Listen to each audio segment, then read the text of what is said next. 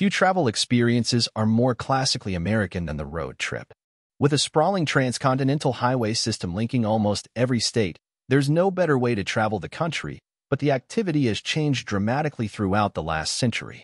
From the first cars, camper vans, and RVs to today, here's what the great American road trip looked like in every decade until the 2000s. Although the first car was invented in 1886, it wasn't until a couple of decades later that automobiles became more popular and widespread in America. This was thanks to a game-changing invention, Henry Ford's Model T, which launched in 1908. It ran on gasoline, which made it cheaper and meant it could travel further distances than the electric vehicles that had previously been used. In this photograph from the 1910s, a family poses by their brand new Model T. You might be surprised to learn that the world's first recreational vehicle, or RV, was invented back in 1915. The 25-foot, 7.6m, long automobile was created by Roland Conklin's gas-electric motor bus company and dubbed the Gypsy Van. It was kitted out with a kitchen, sleeping berths, folding tables, various small appliances, a generator, and lighting. It was used by the Conklin family to travel from Huntington, New York to San Francisco, California on a journey that captured the attention of national media. Since the first national parks were signed into law in the late 1800s, Americans began to gain a greater appreciation for the natural beauty in their backyard. Then the arrival of cars made it easier to access them, although it was still a privilege available to the wealthy few who were lucky enough to own one. Pictured here is a group of visitors on a guided two national parks in two weeks tour that swept through Rocky Mountain National Park and Yellowstone National Park. As cars became increasingly efficient and powerful, they began to be used to haul small trailers. In 1919, a group known as the Tin Can Tourists of the World, TCT, was set up by trailer enthusiasts who wanted to create safe and clean campgrounds for people to visit. It's thought the name originated from the Ford Model T, or Tin Lizzie, which was the preferred set of wheels for many TCT members at the time. This campground in Gainesville, Florida was one of the first to be set up. We wouldn't dream of cutting a hole in a giant sequoia today, but back in 1881 a tunnel big enough to drive through was carved in the towering Wawona tree in Yosemite National Park. Intended to be a tourist attraction, the 227-foot, 69m tree certainly drew in plenty of early road trippers such as this family. Sadly, the 2,100-year-old beauty fell in 1969, partly due to the fact the tunnel had weakened its base. While road trips may have been a way to unwind for many, motorcyclist and car racer Erwin Baker turned these cross-country journeys up a notch by driving as fast as he could. In fact, he even earned the name Cannonball after a newspaper compared him to a Cannonball Express train during one of his famous cross-country races. Shown here in 1923, in his Oldsmobile 30A surrounded by fans, the racer had just completed a trip from New York to Los Angeles by motorcycle in a record-breaking 12 and a half days. When people began to make longer journeys by car, it became apparent they'd need somewhere to keep their belongings and equipment. Enter the car boot, or trunk in the U.S. Early examples were fairly rudimentary, involving a trunk or suitcase attached to the back of the car, hence the name, but from around the 1930s, built-in storage became common in many cars. In this photograph, a couple loads the boot with luggage for a trip. The striated peaks of the Badlands, South Dakota are just as striking in this rudimentary color photograph as they are today. The national park, then a national monument, was located close to U.S. Highways 14 and 6, so when roads were built through it during the 1930s and 1940s, there was a significant uptick in visitor numbers. Although cars had been on the market for a few decades, the Great Depression and the Second World War had halted automakers' growth and made most people unable to buy them. But in the post-war years, cars became increasingly affordable and many families were able to own them for the first time, which opened the world of road tripping up to a wider audience. The national parks remained popular road trip destinations throughout the decade, as you can see from this black and white image of a car driving through Yellowstone in 1941. Parks infrastructure began to improve and families' disposable income rose dramatically, making holidays more accessible for many.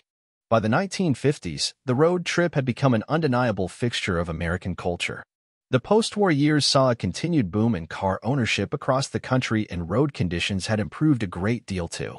In 1959, an engineer at Volvo developed the three-point seatbelt, the kind we're familiar with today, which also made hitting the road a whole lot safer. Pictured here, a road-tripping couple checked their map. Now that more Americans were taking to the road during their vacation time, they needed a place to stay.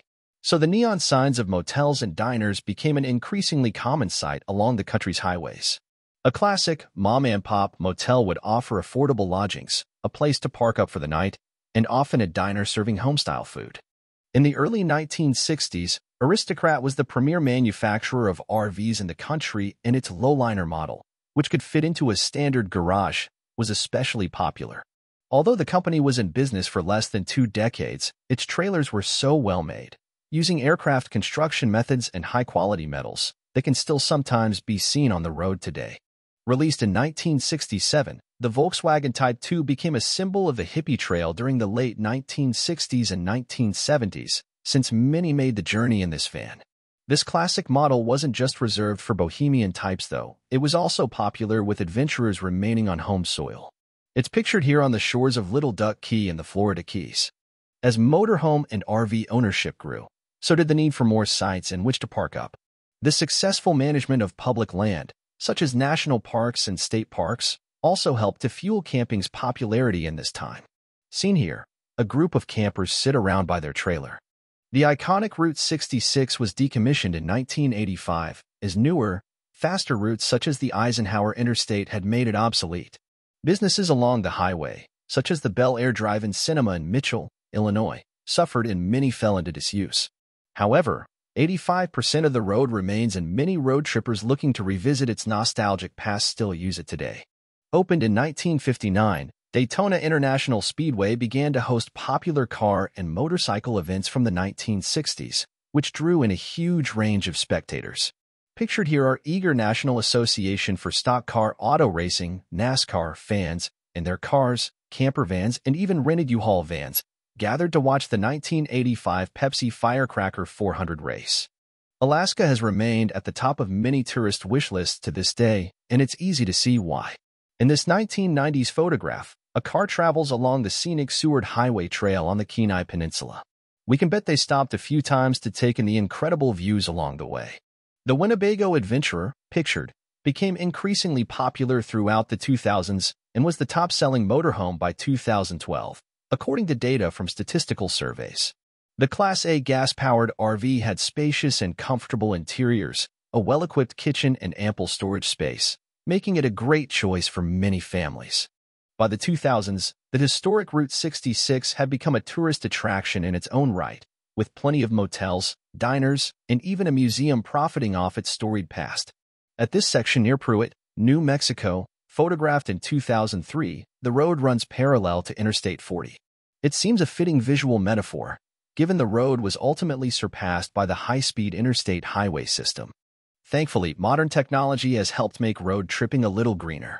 Airstream released models of its classic trailers equipped with PV panels on their roofs, as well as add-on solar packs, allowing campers to harness the sun's rays and provide off-grid energy. Pictured is an Airstream trailer with a solar kit in Ojo Caliente, New Mexico. Another unexpected twist from the pandemic was the rise in remote working, which made long-term workations a genuinely feasible option for many. One 2022 survey of RV owners revealed that over half had worked while on the road that year. Looking into the future, an increased awareness of the impact of flying on our planet means travelers will be looking for a different kind of trip and driving through dramatic landscapes with the ability to stop anywhere certainly presents a more ecological and enriching alternative. It seems the freedom of the road will always beckon.